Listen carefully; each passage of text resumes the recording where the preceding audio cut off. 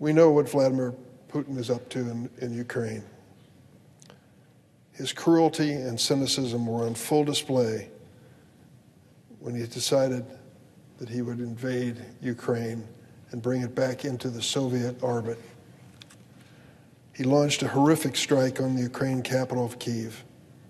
News reports desperately using and procuring now North Korean missiles to continue to launch those attacks on Ukraine. Then he tried to silence anyone in Russia who might dissent from his strategy. Anyone in Russia who actually had the, the audacity to suggest there should be democracy and freedom in that country. He sent one of his harshest critics to prison, and he moves him around within Russia from time to time. The man's name is Alexei Navalny. He's now in Siberia in a prison and is going to stay in that prison indefinitely. Why? Vladimir Putin cannot countenance the thought that that man would be out of prison and speak freely in Russia about his feelings about Putin and his agenda. And so he puts him in prison and silences him. Mr. President, I'd like to, as an aside, note that I come to the floor many times to discuss political prisoners around the world. I'm inspired by my staffer, Chris Holman, who follows this carefully. He told me years ago that my speeches on the floor of the Senate may not sound like very important issues to me uh, at the time, but they are important to people around the world, particularly to political prisoners who learn secondhand and thirdhand that some senator in the United States of America mentioned their name or showed their photograph on the floor of the United States Senate. It's hard to believe that this has any impact on history, but it does. Chris Holman on my staff has shown me over and over again that if I stand up and speak up and reach out to the embassies of these countries that are jailing their political prisoners, it can make a difference. And it does. Some of these prisoners, after years in prison, are finally, finally released. Many of them make it to the United States and come to my office in tears to thank me for a speech on the floor of the Senate. It's hard to imagine in my station in life that anybody cares, but it does make a difference, certainly to them and their families, but often to the countries that are jailing them. I'd like to speak for a few minutes this morning about, about a few of these prisoners. Navalny, I've already mentioned. His fellow patriot, Vladimir Kara-Murza, remains jailed by Putin on nonsense charges and public fears of what they represent. He came by my office. He had been imprisoned in Russia and decided to go back after he was released and protest publicly. He knew what he was getting into, but his passion for principle is so overwhelming that he did it anyway. He sits in prison today as a symbol of freedom in a country where there is little or no freedom of expression. Vladimir Kara-Murza. I display these photographs just to make sure that you know they're real people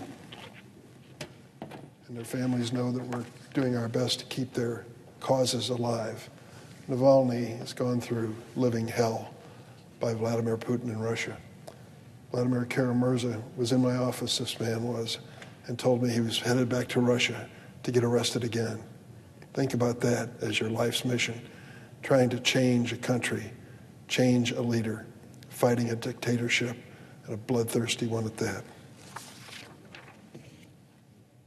We must not allow Putin to prevail in Ukraine.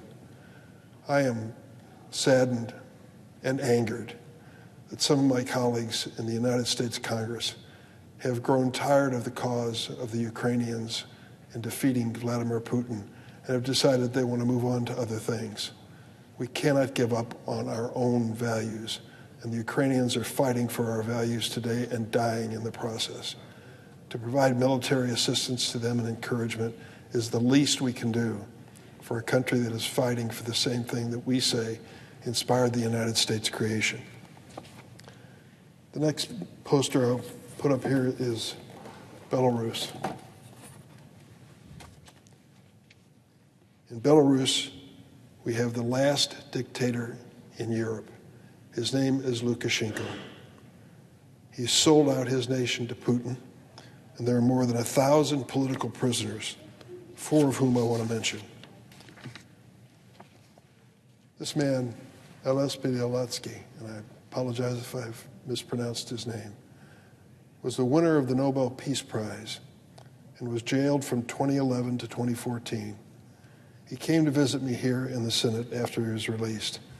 Then he went back to Belarus, protested Lukashenko's dictatorial ways, and was jailed again. He's been in jail since 2021. He's not a young man. He has clearly devoted his life to freedom and is prepared to live in prison to prove it. Opposition leader Sergei Tikhanovsky, jailed in 2020 for having the temerity to actually run in an election against the dictator Lukashenko. I know his, I know him briefly. Um, we met, but I particularly know his wife, Svetlana Tikhanovsky. She ran in his place when he was arrested and probably won that election. We'll never know because of Lukashenko's distortion of the actual vote. But Tikhanovsky's wife is living in Lithuania and traveling across the, Europe and the world to plead his cause and to plead the cause of the Belarusian people. And two jailed Radio Free Europe journalists, Andrei Kuznechyk and Ihar Lozik, they too are paying the price for Lukashenko's di- dictatorial ways. In 2020, millions of Belarusian voters turned out to vote for a better future, not the Soviet era dystopia Lukashenko and Putin are trying to impose on their Ukrainian neighbors and on their Ukrainian neighbors. That is what this larger debate on the supplemental funding is all about. Will the United States stand on the side of these people who are risking their lives and giving their lives every day in prison to fight for democracy? Are we tired? We want to move on to another subject. I'm not tired of democracy. I'm here because of it. Move these photographs, these exhibits for a second.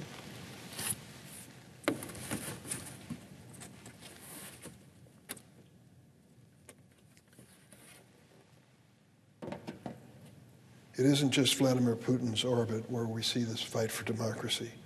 In Cambodia, there was a glimmer of hope that new leadership could bring some change to the country's repressive history. An early move that new President Hun Manet can take in the direction of justice would be to release jailed human rights activist Theary Seng in Cambodia, who is serving a bogus six year sentence. Last year, the Senate Appropriations Committee unanimously, passed an amendment which I offered, barring any Cambodian official involved in her jailing from receiving or keeping a U.S. visa. The easiest way to lift that restriction is to release Theary Seng without any further delay.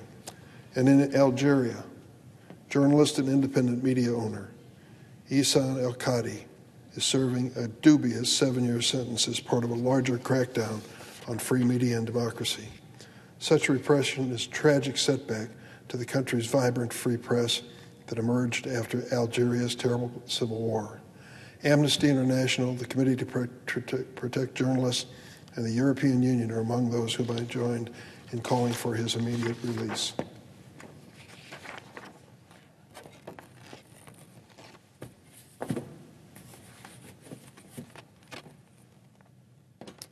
Few weeks ago, I traveled with a congressional delegation led by Senator Tim Kaine of Virginia to Guatemala.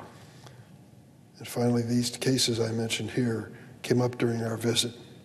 The troubling jailing of anti corruption prosecutor Virginia Laparra and the journalist Jose Ruben Zamora under the previous regime in Guatemala. Their incarceration occurred amid multiple efforts to derail the peaceful transition of power of the new president elect Bernardo Arevalo. Mr. President, January 14th may be just another day on the calendar here in Washington in, in a few days ahead, but it'll be a major historic opportunity in Guatemala to finally bring to office a man who was duly elected president of that country. We met with him. There's resistance to the transition but we believe that he will prevail. He was the clear winner in that contest and should be given the chance to serve. I am pleased to share that Mr. Ms. Laparra was just released from prison to house arrest. That is a move in the right direction. It's a welcome step, and, but we call for her full release and dropping of charges as well as the immediate release of Mr. Zamora, another journalist. Mr. President, what we do here matters around the world for the large and small battles occurring for freedom and democracy. I can only hope that in the days ahead, someone somehow will get the message to the individuals that I've highlighted today that they are not forgotten, that they do not languish in prison unknown to the rest of the world. We have to speak up for these people. Justice not only in the United States, but justice around the world. And it makes a difference. I encourage my colleagues on both sides of the aisle. Look into the issue yourself. Find those people who are unjustly imprisoned for political reasons in these autocratic regimes and give them a word of encouragement yourself on the floor of the Senate. Amazingly, it does make a difference. I have seen many released, and I hope to see more in the future. Time from us making these speeches, highlighting what they're going through, may seem like a waste of time to some, but it's not. It is a valuable investment in the values which we share with these, these amazing people around the world. I yield the floor.